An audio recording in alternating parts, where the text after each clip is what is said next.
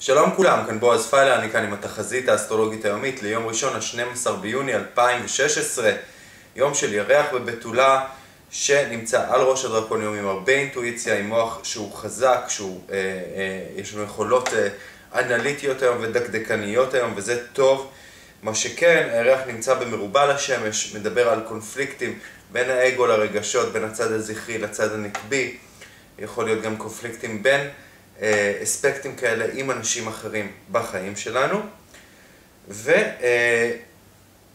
ובאחר הצהריים, פחות או יותר בשעה 4, יש משושה למרס שנותן אנרגיה לאחר הצהריים הזה, מביא איזשהו גל של זרימה אנרגטית שיכולה להיות טובה לקידום של פרויקטים או לעשייה אקטיבית של כל מיני דברים שאנחנו צריכים לשנות, לנקות, לסדר בבית, שזה נהדר. הערב הוא רגיש, יש מולות לחירון. זה זמן שבו אנחנו יכולים להיפגע יותר בקלות או להיות בקשר עם כאבים שנמצאים בתוכנו כבר הרבה זמן, או עם אנשים בסביבתנו שחשים את הכאב שלהם, זה זמן שבו אנחנו צריכים להיות אמפתיים יותר וסובלניים יותר, גם כלפי עצמנו וגם כלפי אחרים בסביבתנו, בתקווה כמובן לרפות את הכאבים האלה שאנחנו נושאים איתנו.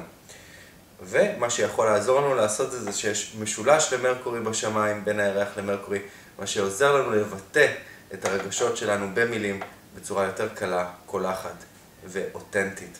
אז שיהיה לנו יום ראשון טוב, תודה שהקשבתם, להתראות.